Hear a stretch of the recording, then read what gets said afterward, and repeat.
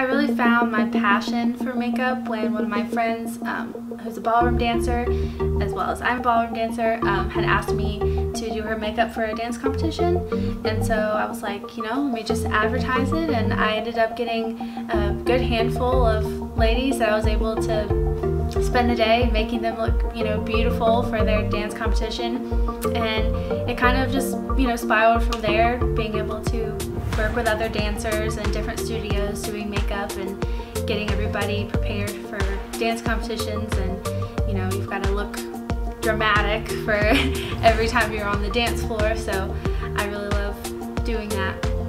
I um, recently just graduated from McDowell Tech in Marion in the um, aesthetics program and there I was able to do makeup and I also learned a ton of awesome facial treatments and I really kind of found my passion for it there as well. Um, I actually got my license in the mail yesterday, so I'm ready to start looking for jobs and I'm really excited.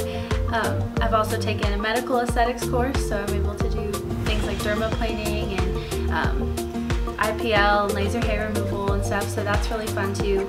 But I don't want to, you know, lose my passion for makeup, so I definitely want to continue doing, you know, weddings and dance competitions and you know, photo shoots and things like that. I really love doing photo shoots, like my most recent one with Tola, where we did kind of the fairy tale theme and I was able to do a really awesome look on her that I had, you know, practiced at school and stuff, so it worked out really well.